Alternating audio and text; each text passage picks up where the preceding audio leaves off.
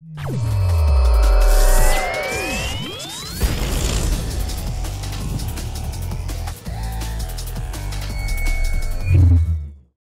guys, and welcome back to act number 4 with a TyTy Killer with this full racing guide and analysis and kind of interview and actually basically he's just teaching me how to do it properly, okay? I'm bad, he's good, he will teach us how to do it properly and we are now at act 4 and we're gonna start right away. The timer is currently at 51 minutes and we are hitting the aqueducts. Yeah, so this is uh, the second to last zone where you'll fix your experience. Well, this in Dried Lake. Lots of uh, nice packs here and there. Um, and you'll see me farm a little bit extra in Dried Lake just so I can correct my XP. At the end of Dried Lake, you want to be a level 30 and some change. That way you can uh, get some nice XP breakpoints. This is because um, when I when I talk about um, what XP you require or like why I get that level, it's so that um, it makes uh, essentially the way that XP works is if you're too low level for a zone, you'll get penalized for it, and if you're too high level for a zone, you'll also get penalized for it.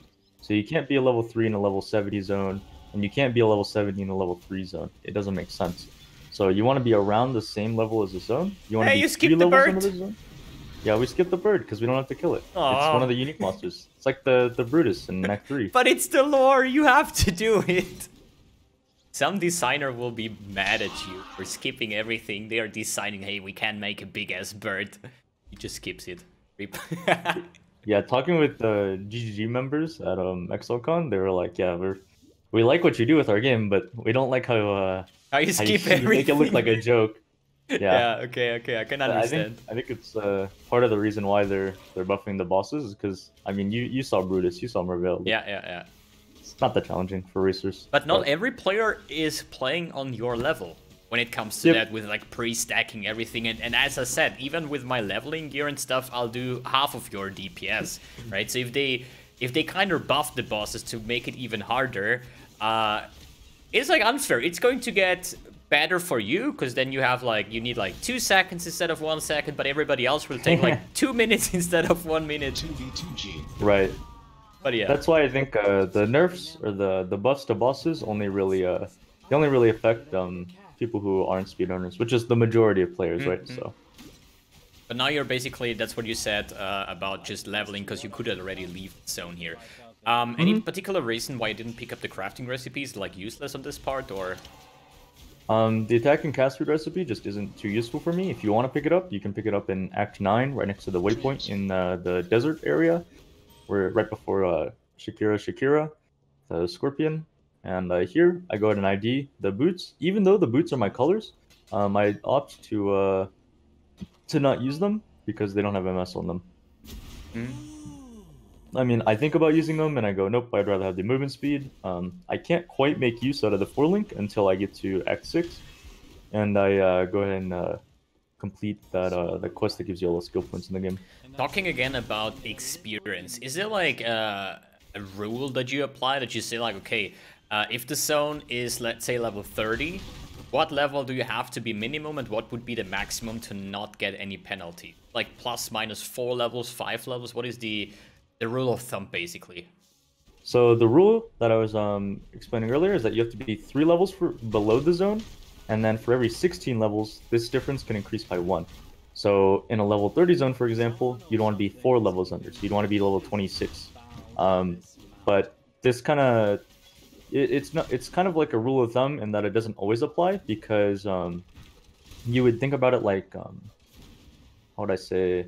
Um, sometimes the zone, like uh, you'll see mines level uh, two is gonna is a level 35 zone. Crystal Veins is a level 36 zone, and so if you can't meet that level 36 requirement, then you're in a little bit of trouble. And this is Um, basically where you would go to the waypoint, check basically what level I am, what level is the zone, Mm-hmm. and if it's if I'm like too low, I go back to Dried Lake, reset the zone, and grind up the experience. Or would you Mm-hmm. take the uh, aqueducts here? Uh, I would go Dried Lake. Dried Lake for the mob Um, density, right? This is yeah, it's one of the reasons why I say you want to be level 30.5 or whatever by the end of uh, Dried Lake is so that you don't have to come back. Mhm. Same with Docks, you want to be like level 25 and some change, so you don't have to go back. You want to be level 39 and some change in uh Chamber Innocence, so you don't have to go back. You basically always keep track on your current level, and mm -hmm. if mm-hmm. you say like, wait, I could use some more experience, you're just gonna kill like a couple more packs and then still move on. Because backtracking yep. is basically the worst thing. If you find out I'm too low, I have to go back, you're just wasting way more time than just realizing when you were at Dried Lake, wait, I'm, I'm too short, let's just kill a, a couple more packs here, right? Mm-hmm. So, and... the good old lab, dude. The worst places that I ever seen in this entire game, and I do, I hate it, dude. I Let's see how you approach the lab here. So again, um, we go to lab at level 31. You can see that my Icicle Mines, which is level 12 gem leveled up, and my Pyroclast Mines, which is level 38 gem leveled up. Um, this means that I'm going to do quite a bit more damage on Izaro, and I'll be a bit safer because of it. Um, here, you in lab, you try to get three keys. So if you, um, every, the first two fights of Izaro have a, uh, the first two fights of Izaro have a special mechanic on it. So here you can see that I have lieutenants. If you leave all the lieutenants alive, you'll get an extra key for doing so. Uh, not a lot of people know that, and so by having three keys at the end of a lab, uh, you're able to get a lot more items. Okay, didn't know that either.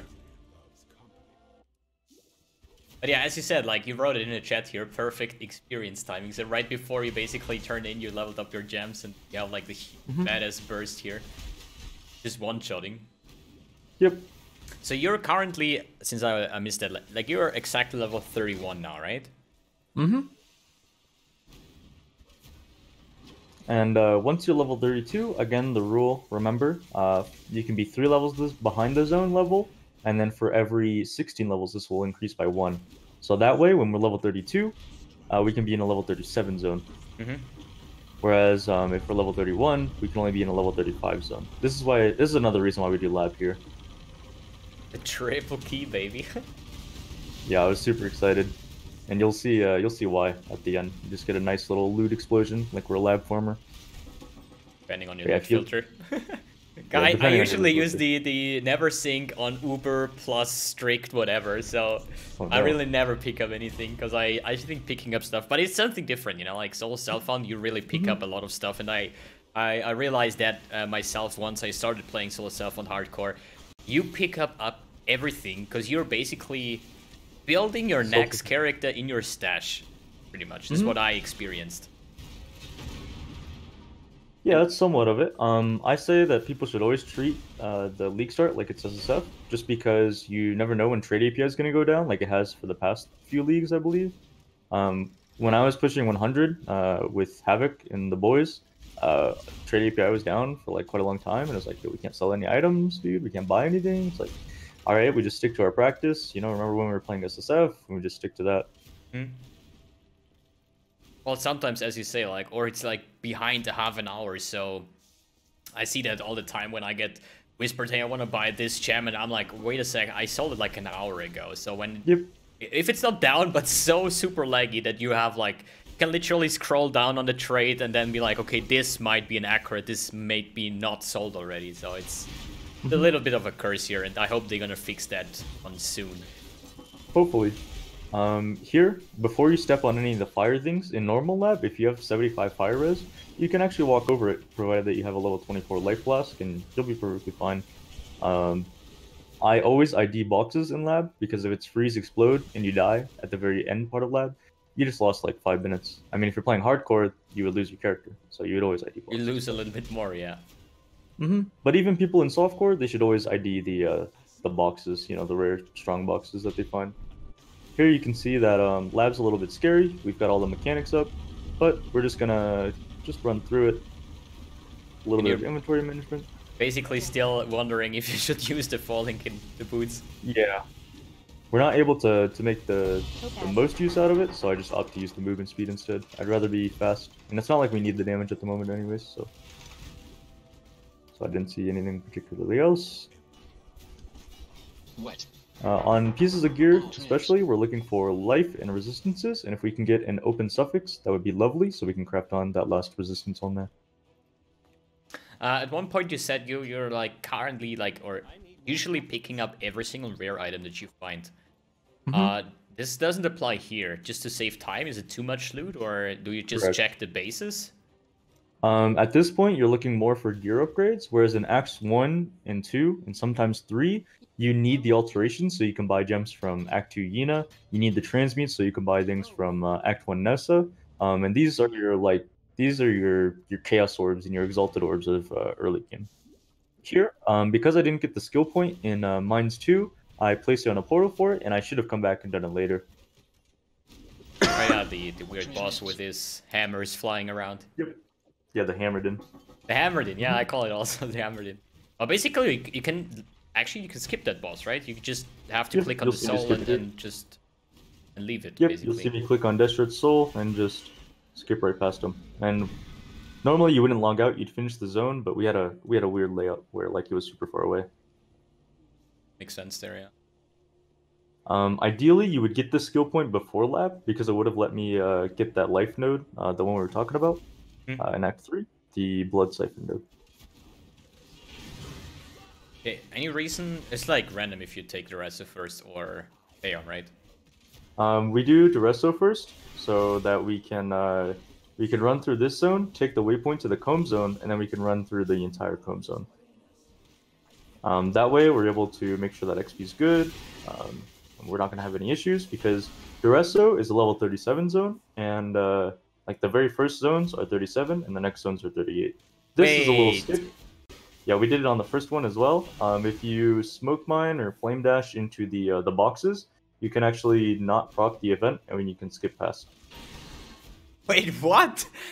Legit, that works? Holy. Yeah, we did it at the, the start of the zone too. Yeah, I remember, but I was like, well, what are you doing here? But we were just talking about something, and now I saw it again. Like, you can actually skip that. Uh, I would only recommend skipping it if you're already like level 32 at this point. Uh, just because the little encounter gives a nice amount of XP. I mean, now it makes perfectly sense when the GGG members, the staff is saying, I don't like what you do with our game because you're skipping. it's actually insane. But as you said, you're now doing. Okay, this is the, the part that I was missing. You're doing the first part of Daresso, then you do the full part of Kaom. So you do both first parts to gain the experience to level up, so you have that level when you are approaching the second part of each zone to kill the boss. hmm Also, you'll be a little bit stronger because you'll probably have uh, more XP. Um, since we're able to get more passive points and everything, you know, so we'll be uh, we'll, we'll be able to take down the bosses uh, safer. Also, Daresso is a bit of a scary boss. Yeah, yeah, it's scarier definitely. than uh, than Kaom, just because there's so many things that can go wrong there. You know, if you don't have good cold res, then uh, that's a, a good time to craft, like right before fighting Daresso. Whereas Kaom isn't isn't really that scary as long as you stay in the correct side of the arena. When we approach the Kaom fight, uh, you'll notice that one part or one part of the area, like a third of the arena, has like uh, little uh, orbs, like I don't remember magma orbs, I believe, Yeah, yeah, yeah. uh, fly out, and then uh, the other two thirds are safe until he gets to about half health. Hmm. Here I'm looking for the other skip, and you can see that you can actually go up this waterfall. Saves so much time. It's hilarious. Yeah, the the very first skip is uh the one that matters more though, Hmm. the one I was trying for earlier. Well, I'm definitely gonna pick up Smoke Mine. You can do so much weird stuff with it, because I'm... The more buttons, the less I'm interested in it. It's just my playstyle. I I like one-button characters that do everything, right? So... And that's why I'm always like, mines is like, ah, you need to place the mines, you need to like trigger them. It's like two buttons, oh my god, like give me something else, you know? But actually, you have so much opportunities and possibilities to play around with a smoke mine, with like skipping entire things. Yep. And I mean, Smoke Mine might get nerfed in the future, but I think it's unlikely just because um, I think GGG kind of likes stuff like this, where it's like, oh, look at these um, players, look at what they can do. You know, we don't want to take that away from them unless it's like, you know. Or are they no just big gonna adjust this zone more or less? Then I don't know. Could also be. Mm, yeah, that could that could happen. I mean, in Act seven, uh, like you were talking earlier, Yeah, the uh, exactly, yeah. Juice get, got removed. And you can see Pyroclast Mine putting in work. Here, if you need to clean out your inventory after killing a boss, you'll log out and talk to the vendor because it puts you closer to the vendor. Hmm. But if you don't, you portal out because it puts you closer to the waypoint rather than the vendor. Yeah, I- I think this is all stuff that comes with the practice, where you're actually thinking about stuff like that. Like Yep. insane. But yeah, the, the pyroclast mines do a, a shit ton of work, and these uh, Icicle mines as well. It's it's Yeah, it's just Trapper, you know? It's like shit tons Yeah. of damage and actually you're just basically one-shotting. They're not even moving away from their spawning point in Solo Self-Found. As I said, I just always compare it to my personal runs. I do level up like at least 30 characters every single league. So I do run through that shit like all the time. And uh, yeah, still, even with my level gear, I'm slower, and this is just impressive for me. So this is a tricky one. This is actually this this the swords are the worst shit ever. Yeah, Or if he the stabs you. Yeah, the swords are what can get you because they can stun block you, and you know, then he like dashes to you, and you're stuck on a sword, dude, and you're dead. But um, you just need to make sure that you're aware of where you're at, where the swords are at. Um, can a sword spawn on top of me? Just RNG, you know, uh, and just be safe. Um, if you have really high cold res, like capped cold res, you can be pretty safe. So you just ignore it. Let me go back here. Isn't he like usually once he's done with his face, isn't he like randomly like always dashing towards you? Or is there a trick? Do you have to be certain closer to him that he's like not dashing? Because I I uh, I would like if I would do this now with the miner, I would basically put the traps on my point because I know that he will dash to me anyways. he doesn't always dash. So what I tend to do here is I will uh, throw the mines and then on top of him, and then I'll flame dash on top of him, uh, so that the the dash doesn't fully go through. And then I'll usually smoke mine away because smoke mine, if you don't know, has a little smoke cloud around it, Mhm. which blinds the enemy. Um, it doesn't matter as much on Savageure, but it's you're actually safer the closer you are to mobs because uh, you blind nearby enemies. Yeah, which is like reducing their accuracy and uh, like that kind of stuff. like a dramatic amount. So you Mhm. take less hits, and that's why you'll see me uh, flame dash like into monsters a lot, so that I can blind them. Here, uh, Belly of the Beast, you ideally want to have uh, bleed removal, but it's fine if you don't. You just play through the layout a little bit slower than usual.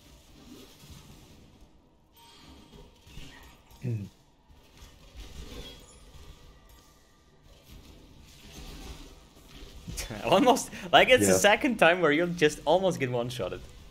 Yeah, this is where um, having Blood Drinker would help a lot. I realized, like, around now, I was like, oh, I don't have life nodes. Well, you're close to like Softcore viable. now you're 600 life, so that's actually not too much, I guess. Or is it like somewhere where you say like, do you actually pay attention to your life, or are you just like, whatever items I find, this is going to be my final HP. I don't care if I have 1500 or 2k life. Is there some uh, sort of rule of thumb that you follow? Like, okay, in Act three at the end, I should have around this amount of life, or energy shield, or hybrid, or something like that. Uh, the only thing that I really look for is uh, 2400 effective life uh, by the time you kill Act 10 Kitava. That's enough for tier 1 maps. You can just stick in tier 1 maps if you're in Trade League or, you know, just farm up gear, farm up currency, buy what you need in those early tiers. Just transmute the maps. No need to run anything super difficult. And uh, yeah, 21 life will be pretty pretty alright in 90% of cases, assuming that you're stacking defensive layers, you know, you're using like custom damage taken, steel skin, or like curses, uh, just really anything. Uh, you know, you can give or take some stack- HP stacking depending up on the, the uh, layers of defense, basically. You know, ES, that kind of thing. You can Mm. see that I go hybrid much later on, and uh, after the Act 10 kill, I go ahead and do a Ziri at the three and a half hour mark. Ah, so that's a bonus. The bonus, the spoiler bonus here. I think it's it's I, it's still even if I see it now for the like tenth or fifteenth time when you're like one-shotting bosses, it's actually every time I see it I'm like, holy shit, that dude has some deep. And it's actually solo cell on, you know. It's not, not like any fancy stuff where you see like ah expensive leveling gear or something. It's actually. Mhm. And now you complain about adding invisible MTX. Are you that kind of player that is not enjoying MTX? Uh, no, no, no, no. I want um, an MTX for Pyroclast mines that's invisible, because when all the balls fly out, it's like, like, like watch the fight. Like you'll see me flame dash, and you can see all the this clutter on screen. Hmm. I want like one where like all the the clutter's gone, it's just invisible. But on the other hand, do you like MTX?